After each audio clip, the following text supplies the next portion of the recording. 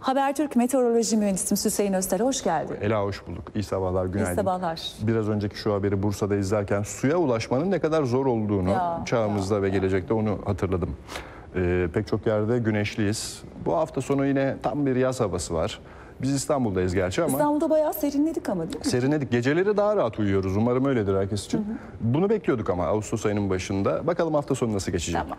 Hemen tahminleri görelim. Şu anda Meteoroloji Genel Müdürlüğü'nün radar görüntüsü açıldı. Ekranlara geldi yönetmenimiz verdi. Bakın Marmara Denizi üzerinde, adalar üzerinde zaman zaman yağış bantları oluşuyor. Ama çok zayıf, e, kapalılık fazla değil, parça parça. Yani bulutlar gökyüzüne baktığınızda hani o beyaz e, pamuksu ifadelerle size iyi duygular hissettirir ya. İşte o şekilde. Yani biraz yükselebilse yağmur da bırakacak ama oluşum çok güçlü değil. E, düşey hareket çok güçlü değil bu olsaydı eğer biraz olsun su havzalarımıza taze su gelirdi.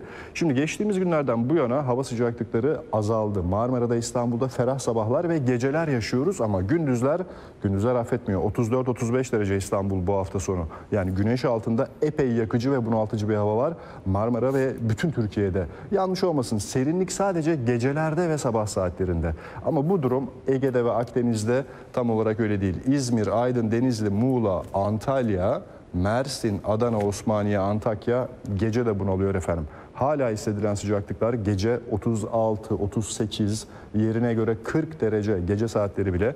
Ve bu durum bir 4-5 gün daha sürecek görünüyor. Ege'ye, Akdeniz'e tatile gidiyorsanız, mesela kuzeyden İstanbul'dan Antalya'ya gidiyorsanız yani sonbahardan yaza geçmiş gibi olabilirsiniz. Bunu aklınızda bulundurun. Hızlı bir yaz devam ediyor. Yani öyle bir sonbahar esintisi falan söz konusu değil. Ege'de, Akdeniz'de ve Güneydoğu'da bu yüksek sıcaklıklar nedeniyle kavruluyor bölgeler.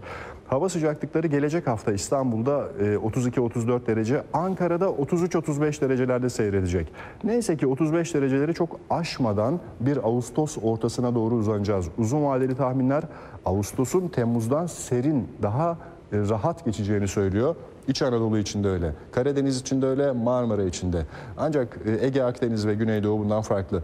Bir de efendim yağışlardan söz edebilir e, miyiz diye bakıyorum. Doğu Karadeniz'de, Rize, Artvin çevresinde e, zaman zaman yaz yağmurları göreceğiz. Gelecek günlerde de sürecek bu yağışlar. 2-3 gün daha.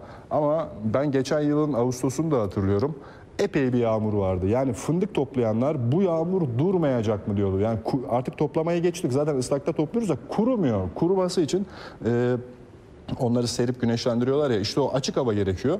Bu kesimde geçtiğimiz yıldan daha az yağacak bu Ağustos. Yani fındık faaliyetleri biraz daha rahat olur. Ülkede bir şeyde biraz rahat olsun e, diyoruz. Bu gelecek günlerde suyla ilgili bizim bir problemimiz var efendim. İstanbul ve çevresi %50'ye düştü bile. İstanbul e, Marmara bölgesindeki en fazla suyu tüketen şehir hep onu söylüyoruz ama Yalova, Kocaeli, Sakarya, Bursa hatta ve Çanakkale'de de e, seviyeler hızla azalıyor. Ancak asıl İzmir, İzmir'den itibaren büyük bir baraj, Tahtalı Barajı başta olmak üzere bütün büyük barajlara bakıyoruz. %30'un üzerinde suyu olan büyük baraj yok. Yani büyük barajların kuruması su kesintilerinin yarım güne çıkması, 10-12 saate çıkması demek olabilir. İzmirliler dikkat edin, Muğlalılar, Bodrumlular sizin güzel coğrafyanızda bu su Eylül sonuna kadar yetmek zorunda. Ağustos'ta hiç yağmur görüntüsü yok. Uzun vadeli tahmin belki değişir ama yani sonuçta 38-40 dereceli sıcaklığa bir ay daha maruz kalacağız e, güneyde. Kuzeydeki su havzalarının e, suyun tükenme hızıyla güneydeki arasında bir fark oluşuyor.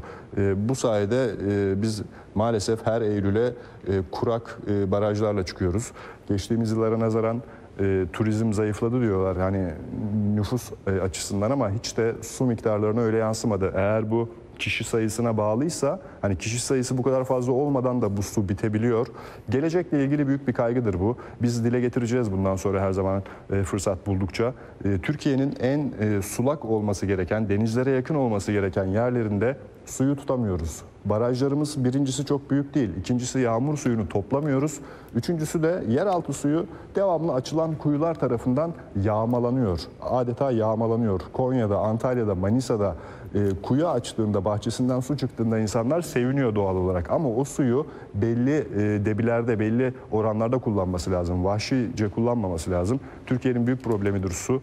Biz de tespit edebildiğimiz, dilimiz döndüğünce bu konuları sizlere aktarmayı sürdüreceğiz. Gelecek yıllarda daha büyük kuraklıklar yaşamamak için. Ela böyle bir kamu spotu oldu gene Benim ama. her zaman söylediğim konuya değindim. Vahşi sulama meselesi. Evet. Ama onun için o çiselemeyi mesela ben yurt dışında çok gözlemliyorum.